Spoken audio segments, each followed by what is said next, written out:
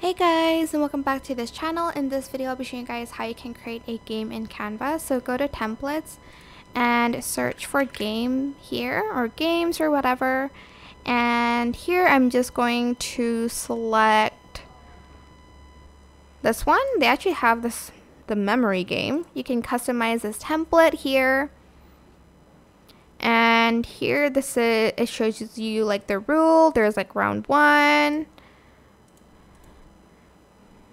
Sorry, I don't know why it did that.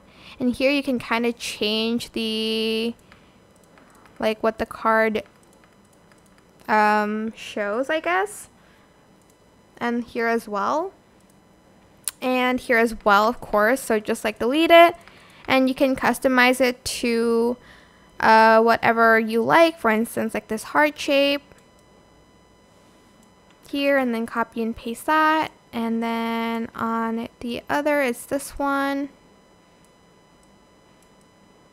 Copy and paste and I want to put it here for instance.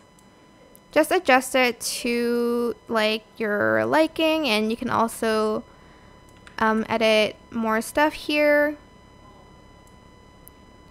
But yeah that is pretty much it really. That's how you can create games in Canva. It is so simple and they just have so many templates for games here. They have like one for a maze and stuff like that.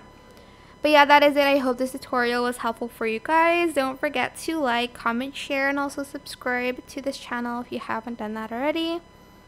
If you have any more questions, just leave it in the comment section down below. I will try my best to answer them all for you guys. And if you found this video helpful, please click the thanks button above the description box down below. Thank you so much for watching. Bye.